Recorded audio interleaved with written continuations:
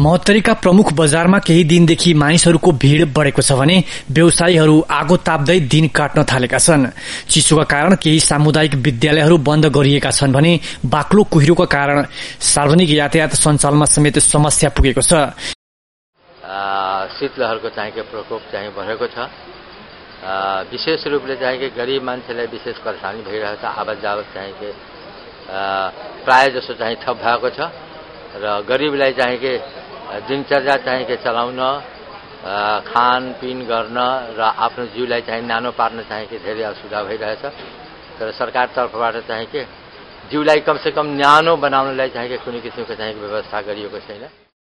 चिसोका कारण जिल्ला अस्पताल जलेश्वर लगायतका स्थानका साथै निजी क्लिनिकहरूमा रुगाखोकी ज्वरो श्वास प्रश्वास निमोनिया लगायतका बिरामी बढ़ेका छन्। बाक्लो हुस्सुका साथै चिसो हावा चल्ने गरेकाले सर्वसाधारणका साथै चौपाया र आलुबारीमा समेत नकारात्मक प्रभाव पर्न थालेको छ। शीतलहरबाट दैनिक मजदुरी गरी जीविकोपार्जन गर्नेहरू बढ़ी प्रभावित भएका छन्।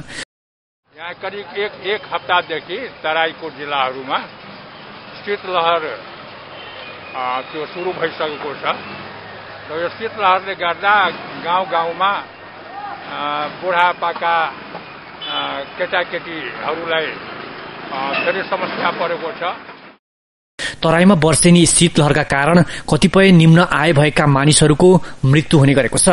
विगत छ दिनदेखि चलेको शीतलहर र चिसो हावाका कारण घरमा कठाङ्ग्रिएर आइतबार र सोमबार महोत्तरीमा दुईजनाको मृत्यु भएको छ। जलेश्वर मटिहानी गौशाला बर्दिवास र शमसी बजारमा चहल पहल घटेको छ।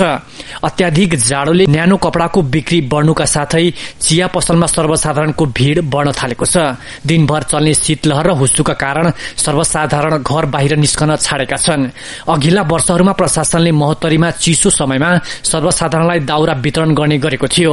तर यो वर्ष चिसोबाट सर्वसाधारणको मृत्यु हुन थाले पनि स्थानीय प्रशासनले हालसम्म त्यस्तो कुनै तयारी गरेको छैन। कमलेश मण्डल महोत्तरी।